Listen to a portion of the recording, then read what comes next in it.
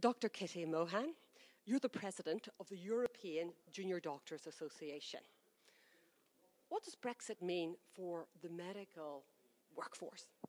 I think that Brexit has a lot of connotations of fear for the medical workforce. Really, we know that many ju- many junior doctors and senior doctors come to work in the UK. We know that this is actually something that's very desirable. We know that there are lots of opportunities for people to come, and actually that freedom of movement across the across Europe in order to learn skills and develop doctors is fundamentally of, of the utmost importance. Why do doctors choose the UK?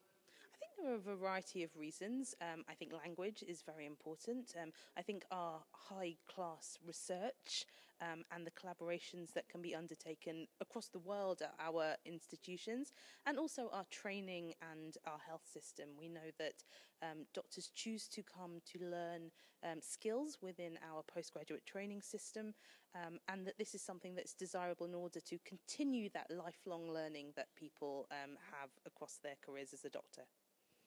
Who are these doctors?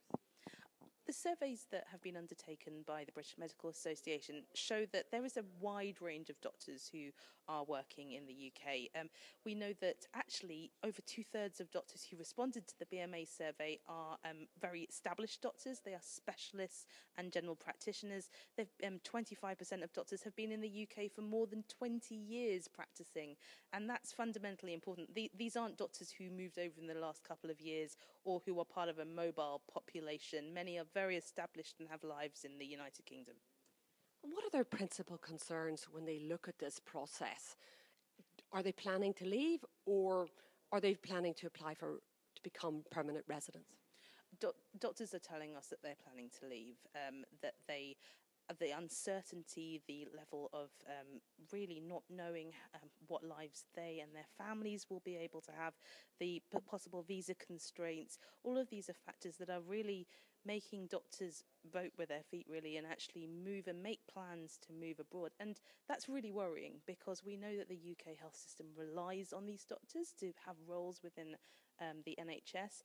And so if the doctors leave, then um, it, th- there are potential connotations for how this is going to affect health and therefore affect patients in the UK. But I imagine you're very reassured by that 350 million per week that's coming in. yes, so we wait we wait for that, but there's there's lots that can be done with that money in the future, so we look forward to that. Yes.